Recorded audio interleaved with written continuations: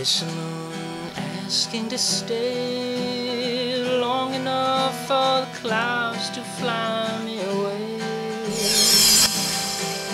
Oh, it's my time coming, I'm not afraid. You're Dikenal sebagai bintang film horor, Samo Rafael ternyata memiliki bakat di bidang musik. Pernah tergabung dalam grup band Gemalara, ia pun banyak mengerjakan proyek musik. Suatu hari tim WhatsApp berkesempatan singgah di studio kecil Samo untuk melihat kegiatan bermusik pemain film sebelum iblis menjemput ini. Halo, gue Samo Rafael. Hari ini gue lagi gak ada kerjaan, tapi kerjaan gue sebenarnya di rumah. Ya, jadi today is chill day with my pets dan uh, nulis lagi musik. Dan gue ada beberapa koleksi pribadi. Come check it out if you want. Oh. Oh iya, by the way ini nama studio Naked Cat. Uh, dinamakan karena kucing saya yang botak satu ini, Riddle the Sphinx ya. Uh, welcome to, to Naked Cat Studio. Tovan Iskandar adalah operator dan produser sekaligus uh, keroyokan di uh, studio Naked Cat ini. Ya, dia lagi ngerjain apa bos hari ini? Lagi untuk pitching. Lagi pitching ke klien ya. Kita ngerjain scoring juga Naked Cat. Kita ngerjain scoring, kita ngerjain jingle, juga produce untuk beberapa artis gitu. Jadi dulu gue itu suka banget koleksi topeng. Cuman nggak sempat gue pindahin ke sini. Gue baru pindah setahun lah di sini di kantor ini. Um, ini dari Jepang juga. Nah ini gue yang buat sebenarnya. Dulu gue suka buat topeng sebenarnya. Beberapa topeng gue dulu suka buat dari clay. Uh, hobi lah. Kalau buat topeng tuh hobi.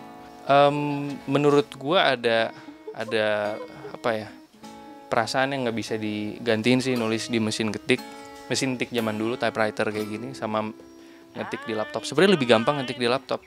Cuman kalau misalnya untuk nulis lirik puisi ini tuh jadi uh, sesuatu yang spesial karena lu nggak bisa hapus gitu. Kalau di laptop kan gampang ah ini salah typo lu hapus. Tapi kalau misalnya typewriter lo harus bener-bener jujur gitu nulis yang nggak tahu ya itu feeling gue Wow, selain berkarya, Samo rupanya menjadikan studio sebagai tempat menyimpan koleksi barang-barang kesukaannya. Dari sekian banyak koleksi yang dimiliki, Samo terlihat tertarik mengkoleksi gitar. kita kelamin merah ini Eh, marun juga karena apa merah-merah wine gini eh, warna favorit gue tiap manggung gue pasti pakai ini kalau yang setnya akustikan atau setnya eh, bahkan set yang proper pun gue akan tetap pakai ini. Biasanya dikombinasikan dengan gitar favorit gue satu lagi maaf pak. Ini pemberian kebetulan. Sama ups ini pemberian Gibson SG merah standar USA asli. Wis. Eh, dengan strap zebra gue selalu suka agak menor. Eh, sama merah wine my favorite color namanya Old Rosie good shape semuanya bagus. Love. Tapi ini juga on the go bagus karena kecil. Kalau traveling biasanya gue pakai ini. Eh, case nya juga kecil empuk gitu. Nggak bukan hard case. Eh, dia mereknya juga Martin. Martin ini buat akustik juga sangat bagus kan. Eh, karena ukuran yang kecil juga selalu gue bawa-bawa traveling. Bunyinya juga enak banget. Warm. Ya one of my favorites. Ini Stratocaster Stratocaster. Bukan Fender tapi Squire. Tapi bagus banget. Gue beruntung karena biasanya Stratocaster nggak kayak gini. Jadi ini sebenarnya istilahnya settingannya buat Telecaster gitu. Cuman pas gue dapet jadi Stratocaster tapi settingannya Telecaster. Jadi bunyinya tuh unik. Istilahnya nggak ada lagi yang bunyinya kayak gini. Pas gue bawa ke tempat biasa gue benerin gitar dia juga wah ini lebih enak daripada Fender asli gitu. Padahal Squire bukan ya istilahnya adiknya Fender lah gitu mereknya biasanya ini yang pakai pacar gue gitu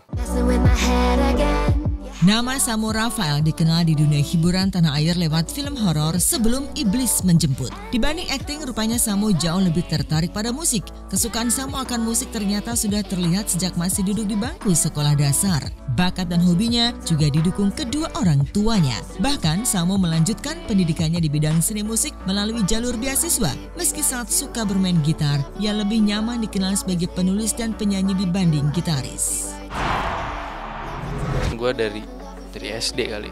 Dari SD itu gue emang udah emang udah di musik gitu udah nyanyi kan nyanyi dulu sebenarnya. Habis itu Eh, bapak saya itu juga pemain gitar juga dia eh, Espanyola gitu. Jadi mainnya classical gitar.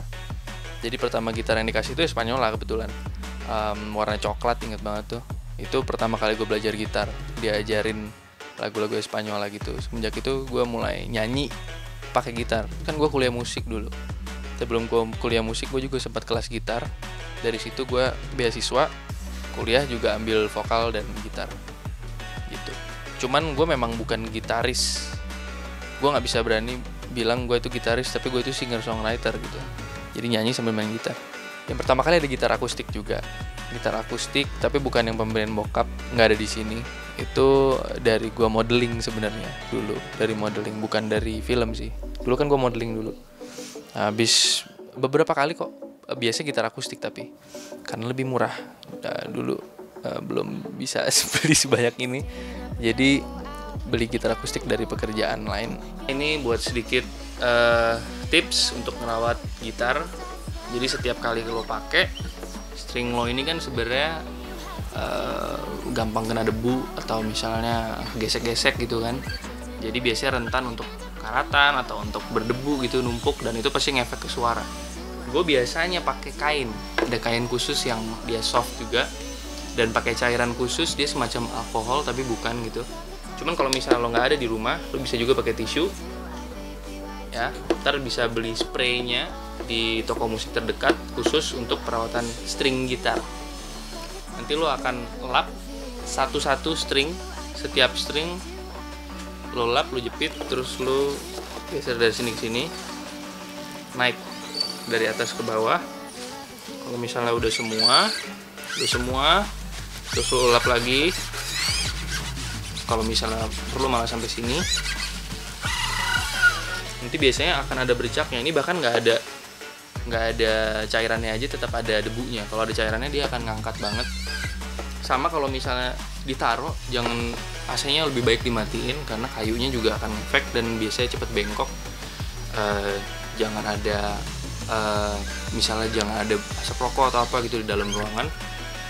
Sama ditaruhnya juga nggak boleh eh, misalnya kayak gini gitu di lantai. Harus di stand yang benar biar necknya nggak bengkok